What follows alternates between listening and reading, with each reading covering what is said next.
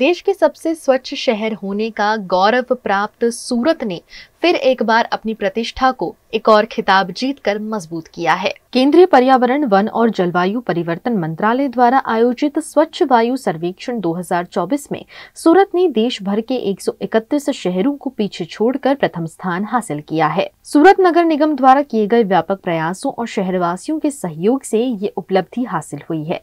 पिछले वर्ष की तुलना में सूरत ने पीएम 10 में बारह प्रतिशत की उल्लेखनीय कमी दर्ज की है। वर्ष 2023 में सूरत तेरहवे स्थान पर था।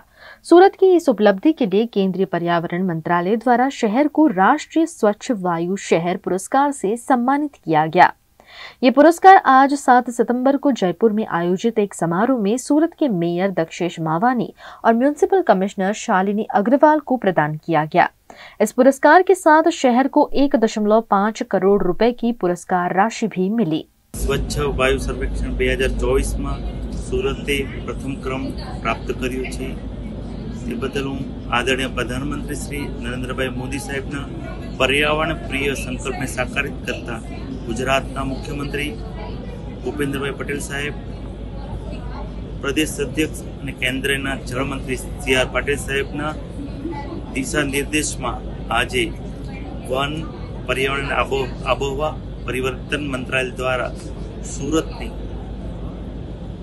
પ્રથમ ક્રમ પ્રાપ્ત કર્યો છે. આજે રાજસ્થાનના મુખ્યમંત્રી શ્રી ભજનલાલ શર્મા અને કેન્દ્રના મંત્રી શ્રી ભૂપેન્દ્ર યાદવ સાહેબના હસ્તે સુરતને આજે પ્રથમ ક્રમનો એવોર્ડ પ્રાપ્ત કરીને હું તમામ સુરતીઓને આ એવોર્ડ સમર્પિત કરું છું.